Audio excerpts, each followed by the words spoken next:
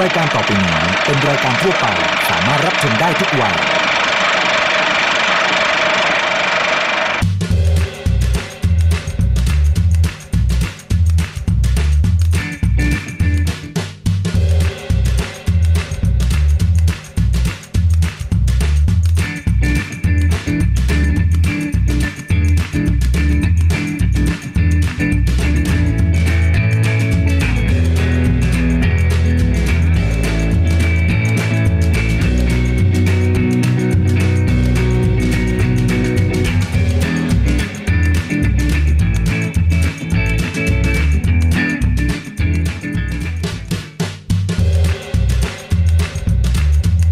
นับสนุนโดยผลิตภัณฑ์ผลไม้ฟรุตเบรและน้ำเชื่อมแต่งกลิ่นตราเนเจอร์เทอดเปรี้ยวกินหวานทางช่อง Workpoint หมายเลข 23 วันนี้นะครับ จะพาคุณผู้ชมนะครับเข้ามาสู่โลกของสัตว์ในตำนานนะครับ อย่างเจ้ายูนิคอร์นนั่นเองครับ ซึ่งสัตว์ตัวนี้นะครับเป็นตัวแทนของความสนุกสนานนะครับ ความสดใส ซึ่งเป็นขวัญใจของเด็กๆ ทุกคนเลยนะครับ วันนี้นะครับ นอกจากความน่ารักน่าเอ็นดูแล้วนะฮะเราจะพาคุณผู้ชมมาชิมขนมอร่อยๆกันที่ร้าน Unicorn Cafe ครับ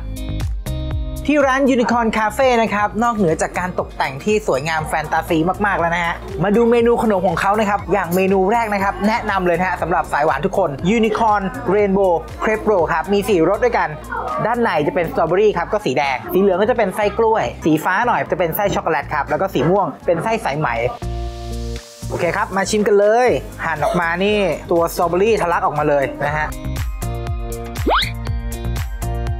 นอกเหนือจากนี้นะฮะเขาก็จะมีเป็นซอสสตรอเบอรี่มารับประทานคู่ด้วย แล้วก็สามารถตักราดได้ ชุ่มๆเลย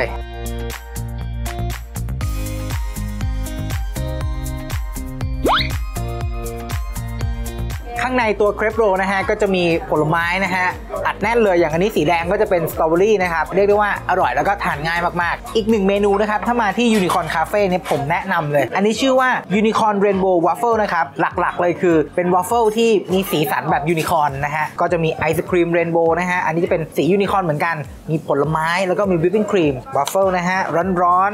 ๆกับไอศครีม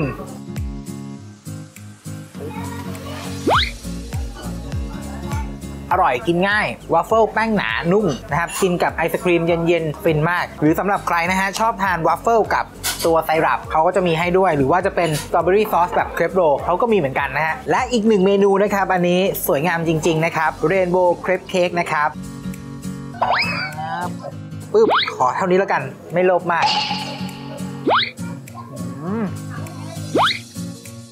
เรียกได้ว่าเป็นเมนูคลาสสิกที่ ยังไงก็อร่อยแล้วที่ร้านทำมาก็อร่อยจริงๆนะครับ ถ้าใครชอบทานเครปเค้กแล้วก็มีรสเปรี้ยวๆด้วย เขาก็จะมีตัวสตรอเบอรี่ซอสเหมือนกัน ก็รับประทานคู่กันสุดยอดเลยฮะนอกเหนือจากเมนูขนมหวานสุดอลังการแล้วนะครับ ที่นี่ยังมีเครื่องดื่มน่ากินน่ากินแบบนี้นะฮะ อันนี้ชื่อเมนูว่า Milky Way Star นะครับ จริง ๆ แล้วก็คือนมปั่นนั่นเองนะครับ แต่ว่าเขาจะมีสีสันที่คล้ายๆ กับสียูนิคอร์นเหมือนกัน คืออร่อย แล้วก็เข้มข้นมีรสนมจริง ๆ นะครับ แล้วก็เย็นๆแบบนี้น้ำแข็งปั่นละเอียดเลย ดูดง่ายมากๆนะครับสำหรับร้าน Unicorn Cafe นะครับ ตั้งอยู่ที่ซอยสาทร8ผมแชร์พิกัดให้แล้วนะฮะ สายหวานทุกคนต้องไม่พลาดนะฮะ แวะมาเช็คอินกันให้ได้ครับ วันนี้นะครับอาจารย์ยิ่งศักดิ์มีเมนูเค้กอร่อยๆนะครับ อย่างเค้กมัทฉะมาเบิลมาฝากกันนะครับ จะมีขั้นตอนการทำยังไง เคล็ดลับเป็นยังไงไปชมพร้อม ๆ กันเลยครับ ช่วงอร่อยอย่างมืออาชีพ สนับสนุนโดยนกเหยี่ยวฟอลคอน คุณผู้ชมครับวันนี้มีขนมเก๋มาฝากคุณผู้ชมอีกแล้วนะครับเค้กมัทฉะ marble ครับทำไมถึงอร่อยนี่ใครๆก็ต้องถาม เพราะว่าอาจารย์นิสสักดิ์ใช้นมข้นจืด และครีมเทียมข้นหวานตรานกเหยี่ยวฟอลคอน วิธีทำเค้กมัทฉะผสมแป้งสาลีทำเค้กผงฟู มัทฉะชนิดผงและเกลือป่นเข้าด้วยกันเตรียมไว้ก่อนครับ ตีเนยสดชนิดเค็มกับน้ำตาลทราย ด้วยความเร็วปานกลางนาน 10 นาที เติมไข่ไก่ทีละฟองจนครบลดความเร็วลงต่ำใส่แป้งที่เราผสมไว้ แล้วก็เติมนมข้นจืดตรานกเหยี่ยวฟอลคอน สีผสมอาหารสีเขียวแอปเปิลตีผสมจนกระทั่งเป็นเนื้อเดียวกันนะครับเทส่วนผสมที่ได้ลงในพิมพ์ที่เตรียมไว้นำเข้าเตาอบครับ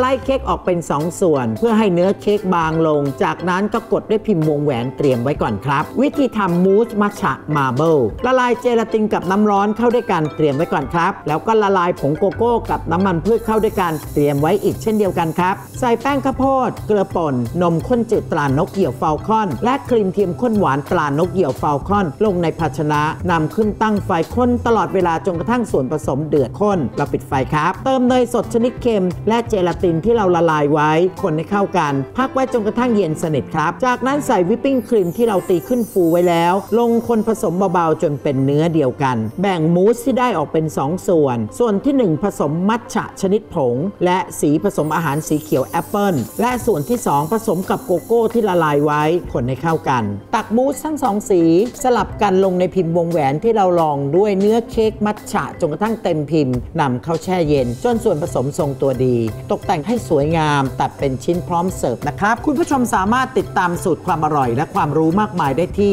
www.falconforprofessional.com นะครับ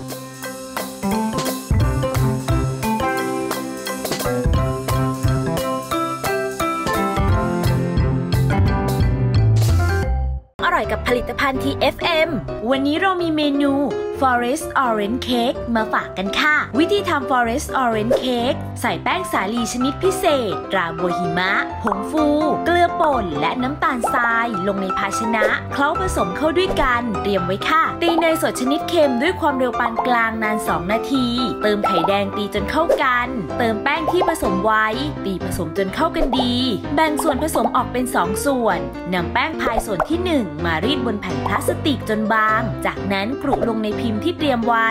ตัดแต่งขอบแป้งพายให้สวยงาม ใช้ส้อมจิ้มแป้งพายให้ทั่วเตรียมไว้ค่ะนำแป้งพายส่วนที่ 2 ผสมกับน้ำตาลไอซิ่ง ผิวส้มเชื่อมสับละเอียดนำส้มเข้มข้น สีผสมอาหารสีส้ม และไข่ขาว คนผสมจนเป็นเนื้อเดียวกัน ตักลงในพิมพ์ที่กรุแป้งพาย เตรียมไว้เกลี่ยหน้าให้เรียบนำเข้าอบที่อุณหภูมิ